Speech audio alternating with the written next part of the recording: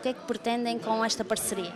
Portanto, a cerveja letra é uma cerveja que faz este ano 10 anos no mercado português. Portanto, surgiu em 2013. O objetivo da marca é cada letra do abecedário é uma cerveja diferente, portanto, um estilo, uma intensidade diferente. E a ideia desta rota é precisamente eh, juntar esta, estes dois mundos, que é o mundo da cerveja artesanal com o mundo dos petiscos, e fazermos aqui uma harmonização.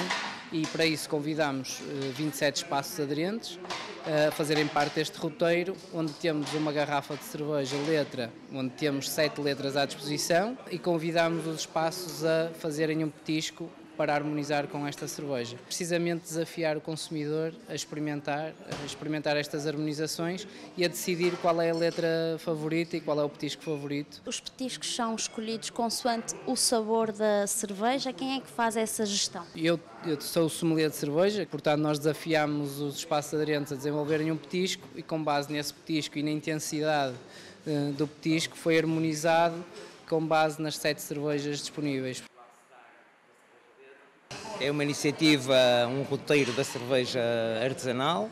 Uh, a ideia é democratizar também as cervejas artesanais, fazer com que as pessoas comecem a provar mais este tipo de cervejas e harmonizá-las aqui com diferentes petiscos, com um valor uh, muito interessante, de 4 euros, onde inclui uma cerveja e um petisco, acho que é um valor bastante interessante com 27 estabelecimentos, onde eh, a ideia é que o cliente possa fazer um roteiro pelos diferentes estabelecimentos, provar vários petiscos, várias cervejas. A importância é que tem aqui para a cidade de Braga e para estas pessoas, como é que isto vai atrair mais gente e mais visitantes aqui à cidade?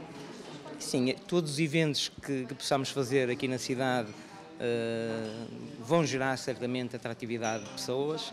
O facto de termos um roteiro destes com cervejas completamente diferentes e com menus também um bocado fora da caixa, pode atrair uh, pessoas a virem fazer o seu lanche ou até mesmo o seu almoço com um petisco destes uh, e poderá atrair tanto os locais como os turistas.